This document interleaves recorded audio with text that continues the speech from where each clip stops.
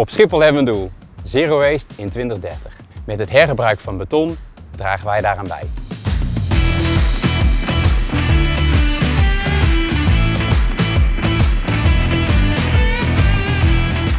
We staan hier op de circulaire hub van Schiphol. Betonproducten die we uit projecten halen worden hier eh, neergelegd zodat we die kunnen gaan recyclen voor nieuwe betonproducten.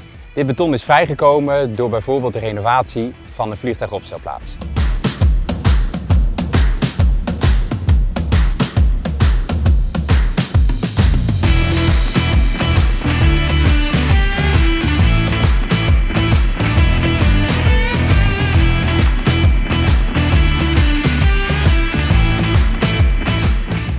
Grote brokken maken we eerst klein.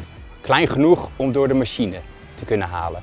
Met toevoeging van nieuwe grondstoffen, zoals zand en cement, ontstaat er een nieuw gerecycled product. Deze producten kunnen we hierna weer toepassen in een rijbaan of in een nieuwe vliegtuigopstelplaats.